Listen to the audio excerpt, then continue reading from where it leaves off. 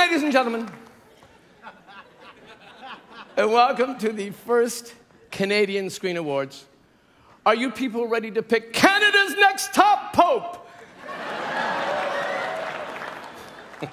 How about that entrance? Isn't that insane?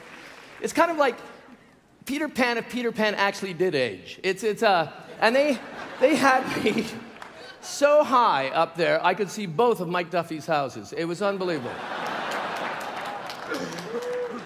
A night. Oh, people in show business are being honored. How often does something like that happen? I myself am up for two nominations.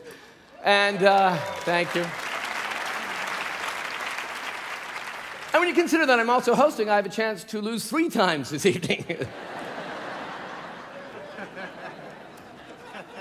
but I remember when the uh, Canadian Screen Awards asked me to host, the phone rang, and I'm not ashamed to tell you that my very first words on my mouth were, Yes!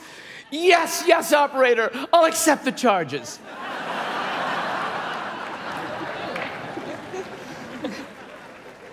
it's always great to be home.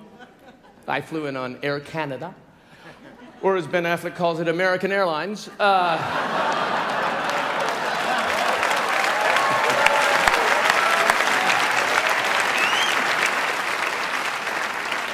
Actually, I attended the Oscars, uh, but I, I, I, must admit I prefer the America, the Canadian award shows uh, because it's so refreshing to see faces frozen by something besides Botox.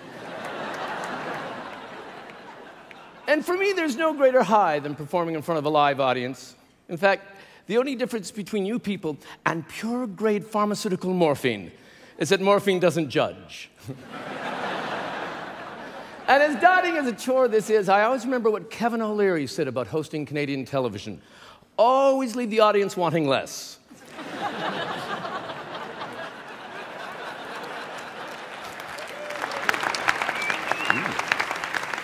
Tonight is uh, more than just about getting a silly old trophy. It's you know, it's really just about getting a silly old trophy.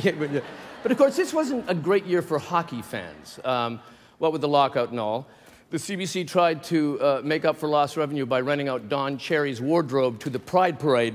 and even they thought the jackets were a little over the top. And I myself, I was so bad at hockey. I, I hated being body checked by another man because they, they so rarely call the next day. it's hurtful. You know, I was going to do more jokes about the CBC, but I feel one should never bite the hand that sort of feeds you. Um, the Bachelor Canada premiered this year with Brad Smith, who is here tonight. Um, Brad is a 28 year old former CFL football player, tall, good looking, from a wealthy family. Because that's exactly the kind of guy who needs help meeting women. Uh,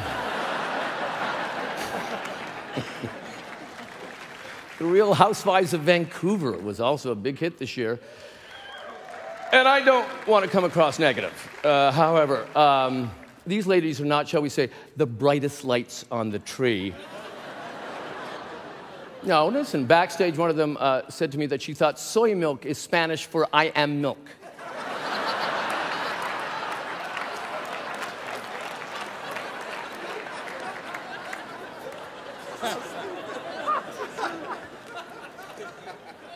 George Stroumboulopoulos is here this evening. Not just a legend, but also the name he screams out during sex.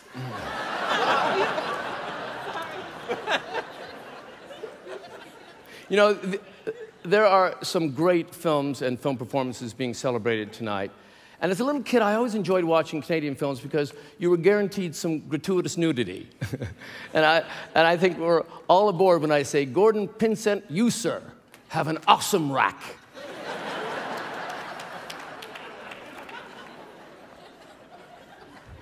Midnight Children is nominated tonight. Midnight's Children. It's based on the Salman Rushdie book.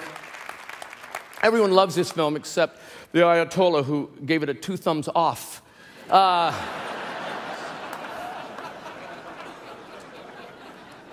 and of course, James Cromwell is nominated tonight.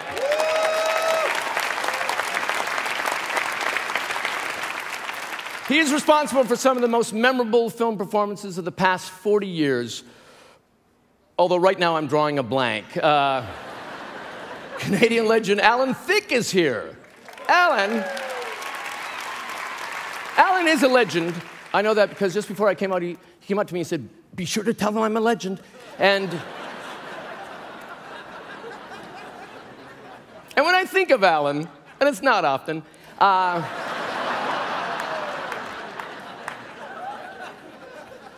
I'm reminded that we are like family. In fact, he was there when all three of my children were conceived. I know that because I was out of town making a movie at a time. My dear friend Rick Mercer is out there. Look at that, Rick. You know, this too. Of all the people that I have a fake show business relationship with, the star I'm fake closest to is Rick Mercer. I, and what I love about Rick is that he never lets his Scientology get in the way of his craft. I think it's fantastic.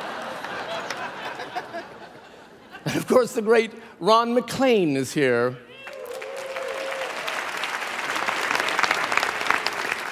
And what I admire most about Ron is that he's not afraid to hit someone else's kid. I think that's a strength. The Academy was thinking about adding adult films to tonight's ceremony, but and, and, and I was opposed because, for heaven's sakes, I'm already nominated twice.